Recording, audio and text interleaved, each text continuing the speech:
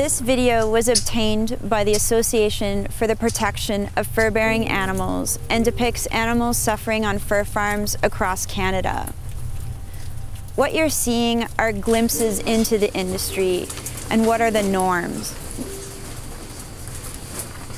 Animals confined in tiny cages, animals living in their own excrement, filthy conditions and runoff making its way into our watersheds. Animals also suffer from psychological damage, and their repetitive behaviors indicate stress and suffering.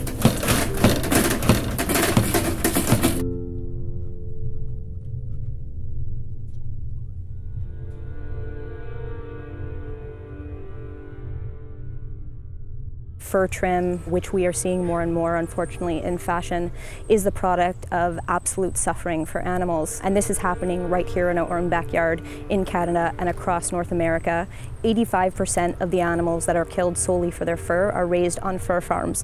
Mink on fur farms generally live um, in cages that are about the size of two sheets of paper. They are also semi-aquatic animals, and in fur farms, they never have access to water to swim and so what this leads to is really all sorts of psychological and physiological suffering for these animals. And it's quite hard to really describe without seeing it um, and without understanding the realities of the odors and the sounds and the horrors that these animals experience. Foxes, the situation is very similar. Foxes spend their entire lives on wire flooring, never being able to properly and normally interact with other animals of their kind. They don't get to hunt and dig and feel green grass on their feet.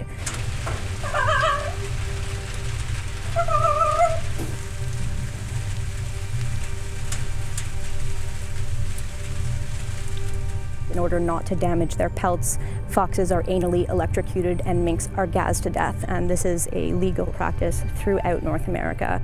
Trapped, hunted, and fur-farmed animals in the U.S. are exempt from the two pieces of federal legislation that deal with humane slaughter and humane care of animals. In Canada, the criminal code is not preventative. It only deals with cruelty once it's occurred, and it's very difficult to enforce. The reality is that there really is very little in the way of legislation that has any protection for these animals whatsoever. Fur farms can be described as basically like a factory. They're intensive um, units comprised usually of long steel sheds and it is an industry that is to maximize profit. These types of industries are very close to home and they're just outside of our urban centers. Fur is predominantly found on trim, um, trims on the hoods of, of collars, cuffs, cell phone cases, handbags, earrings, even uh, eyelash extensions and makeup brushes can be made from, from mink fur. So we're seeing all kinds of sneaky ways that fur is, is being sold, so it's buyer beware.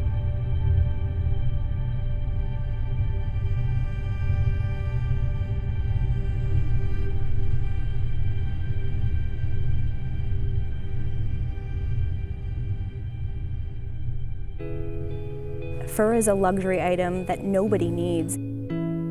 We can stop fur farms by choosing not to wear fur. To take action on the fur issue, learn as much as you can about this industry and you can go to websites like makefurhistory.com. Learn more about your state and provincial laws and get involved with politicians and voice your opposition to this type of cruelty. We can win this, we can stop the suffering of millions of animals across North America by simply saying no to fur and making fur history. We can stand together. We can protect these animals. We can make fur history.